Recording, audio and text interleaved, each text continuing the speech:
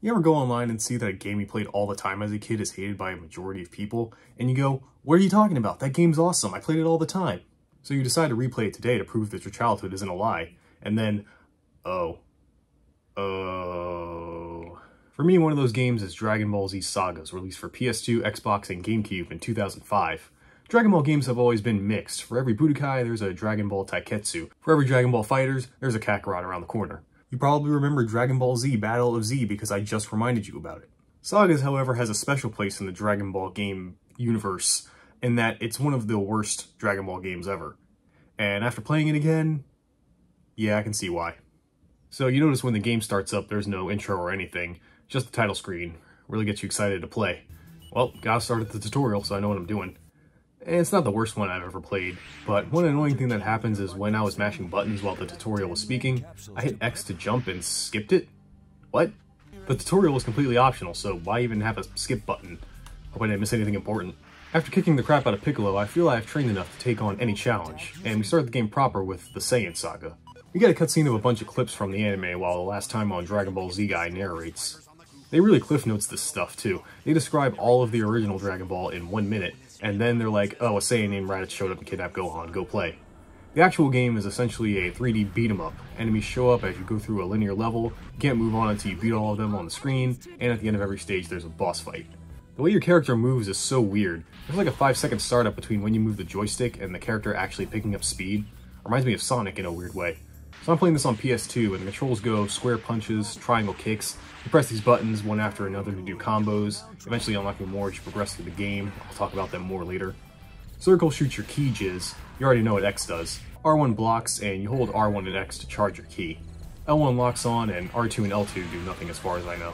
Throughout the game you collect capsules. Get 10 red ones, you get more health. Get 10 yellow ones, you get more ki meter. So I make it to this one part where I have to upgrade my abilities. To do that you need Z-Coins, the final collectible. But wait, I don't have enough? How's that possible? It's a linear path, how could I have missed it? So, okay, I guess I go back, I gotta look for it. Feeling like an idiot, I just start dicking around when I figure out shooting energy breaks certain environmental objects, like these rocks. So, Goku, super powerful Saiyan, can't punch or kick a rock to break it. I need to shoot my ki jizz. Okay. And yeah, it turns out the last coin was in a rock. Wait a minute. I need this upgrade to get a charged ki blast, which is essentially a Kamehameha, to destroy big rocks. But why can't I destroy them with the regular one? They're still rocks. They're just bigger. Or again, why can't I just punch or kick them? I can punch hard enough to send someone flying into a mountain, but I can't break a rock? I have to use Kamehameha. Rocks are too strong to fall to simple martial arts.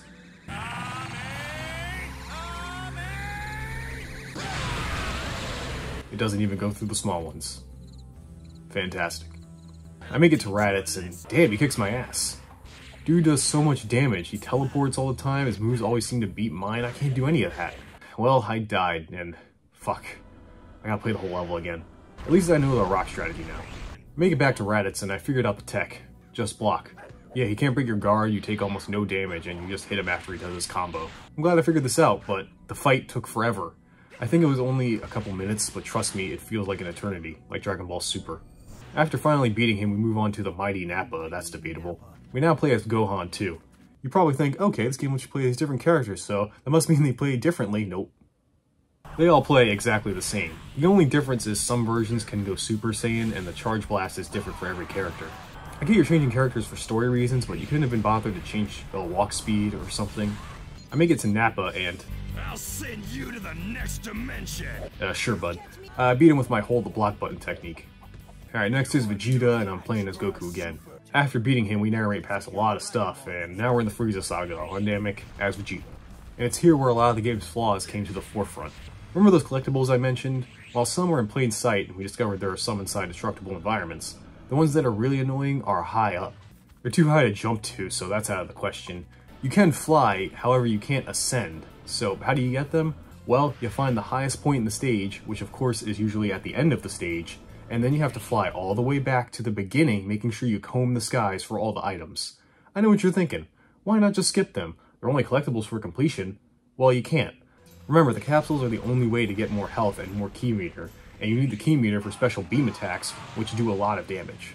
The Z-Coins you also need for upgrades. Some of these are mandatory, like an unblockable finisher move, which you'll need because the enemies block all the time. You also need to buy different combos.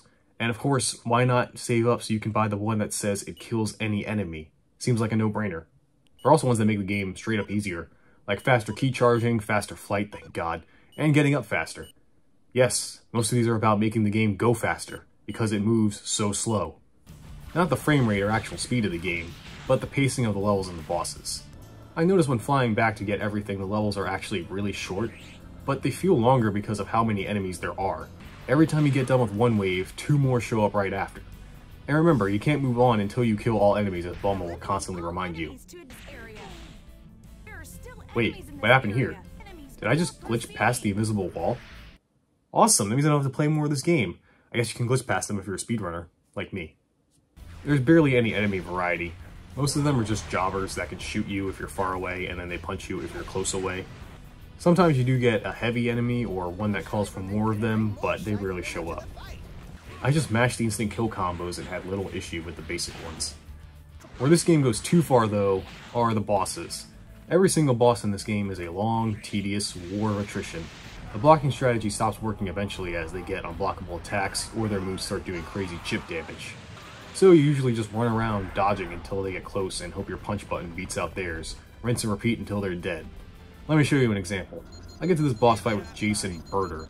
Jeice keeps his distance and shoots at you as you try to get close, but he either spams his shots so you can't, or he beats you up. And then randomly, Space Cookie Monster over there will just charge at you, interrupting your combo. They also do this crazy team attack where they shoot you with a machine gun blast that does crazy amounts of damage. It was a problem until I figured out if you stand in this one specific spot, they can't hit you. I can tell this game had a lot of love poured into it. I eventually beat them, and right away I fight Captain Ginyu, who is actually super easy. He spams the move Dig like a ground-type Pokemon, and you attack him when he pops out. Then you fight Ginyu and Goku's body, who is also piss easy. Maybe compared to Sonic and Knuckles back there, all these other fights just aren't as bad to me. And then, when you think the game can't get any more annoying, the next level is an escort mission. You gotta protect Dende so he can get to the Dragon Balls. This wouldn't be a problem, except for some reason your attacks hurt him. So when an enemy gets close, you have to beat them there, otherwise they'll shoot him. But when you're too close, your attacks hit him. Who thought it was a good idea to let your attacks hurt the person you're protecting in an escort mission? After that, you fight Frieza for the first time as Vegeta. Remember how the boss battles were just long, tedious battles of blocking? This one is that times 100, because you can't kill him, you have to survive until Piccolo shows up, so hold that block button. Eventually Frieza goes to his second form and... Wait, what? Why are there two Friezas? Uh, this shouldn't be right. They're not different characters. Why are there two attacking me? Well, it's a glitch. There is supposed to be one. I guess I got lucky. It doesn't make it harder, you just hold the block button, they can't do shit. I can tell this game was made with a lot of love. Next we fight Frieza Super Saiyan Goku, and to no one's surprise, it is ass. How Super Saiyan works in this game is there's a meter that fills up as you hit enemies. When it's full and flashing, you charge your ki to go Super Saiyan, what makes this boss fight suck so much is you can only hurt Frieza when you're Super Saiyan. Hitting him regularly does nothing. So yeah, they somehow found a way to make already long boss fights 50% longer. I feel like they prioritized the wrong stuff here. Yeah, you do more damage in Super Saiyan, but I had to do that three times. It's not fun. After that, you get a weird level that takes place on Yardrat? Who the fuck cares about Yardrat? It's just another lame boss fight. After that, it goes to the Android and Cell and I don't have much else to say about this game by this point, though. All the stuff I complain about applies to these levels, too. The only major difference between the beginning of the game and now is that since I ran around collecting everything, I have all the upgrades, so I didn't get any trouble from enemies, bosses, the levels. It was just pressing the same combination of buttons over and over and over and over. Actually, yeah, let me go more in depth on these combos. Remember how I said why you wouldn't just use the instant kill one? Well, once you get it, that's all you do, because why not? I just found myself pressing the same two buttons in the same order for every enemy. I did the same for the bosses. I made it to that point where you get so lost in the tedium of the game that you start to think it's good. All that time you spent collecting and mashing have paid off, but you don't get a feeling of satisfaction, more of a sense of obligation.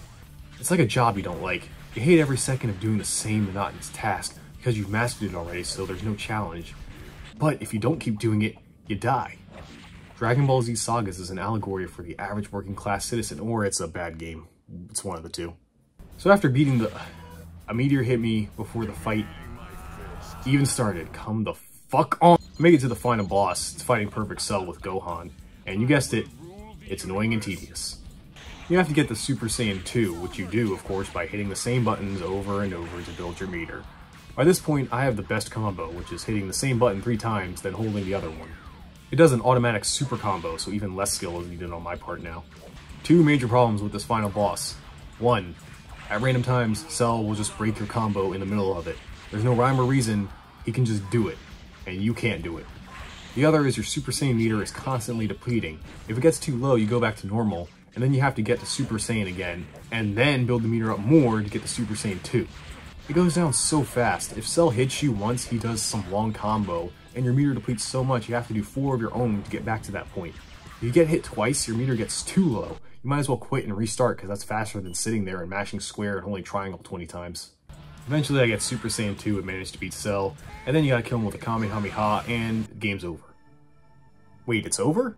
Uh, what about the Buu Saga, the last one in Dragon Ball Z? You know, I would think a game called Dragon Ball Z Sagas would have all of the sagas of Dragon Ball Z. Team 4-Star make this? You might be wondering, well, after all that, do you get anything for beating the game? Yes, you get two things, actually. Two new modes, extras, which aren't extras, they're the cutscenes from the game that you've already seen. Nothing extra about that. The other one is actually kind of cool, the Pendulum. which lets you replay any level as any of the playable characters, including extra characters like Yamcha, Adult Gohan, Tien, Krillin, even Broly and Bardock. And going back to those levels that gave you shit early on as an overpowered Broly, I have to admit it's a really awesome reward. The level should have been good in the first place, but whatever. You still can't blast past small rocks though.